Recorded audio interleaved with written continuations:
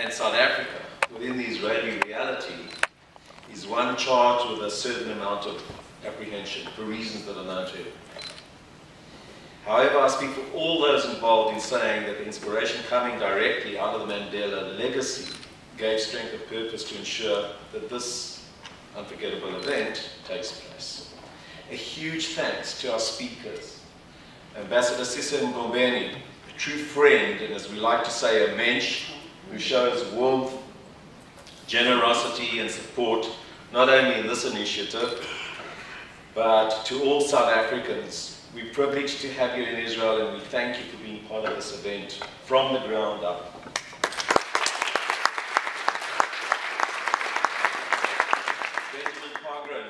Legend in his own time, worked endlessly finding ways to bypass any obstacle in order to make this event happen. Thank you so much. Your insights are very invaluable.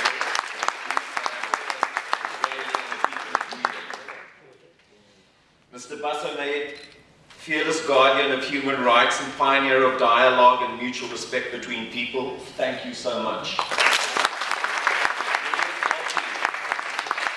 You came from South Africa. We're honored to have you here and value your perceptions, uh, the perceptions that you share with us. Thank you so much.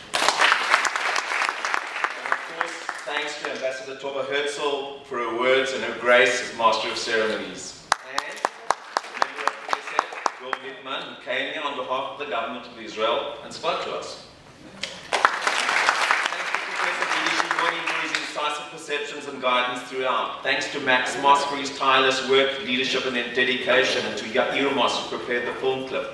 Thanks to Ian Rogo for his support and level-headed wisdom. Thanks to Les Glassman who steadfastly promoted this event. Thanks to Doran Klein and the dedicated staff at Telfed. And a very big thanks to Dave Bloom, the chairman of Telfed, who skippered this ship to a safe port with everything that means, and has worked tirelessly to ensure its success and has shown leadership, astute management, and decorum throughout. Finally, thanks to you members of the audience, who at this very troubled time and at quite a lot of risk came to be part of this unique event.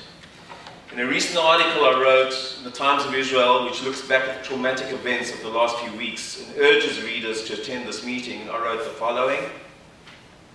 And if you all take home with you a piece of the Mandela legacy, you may find its, its nourishment for the soul after this terrible week.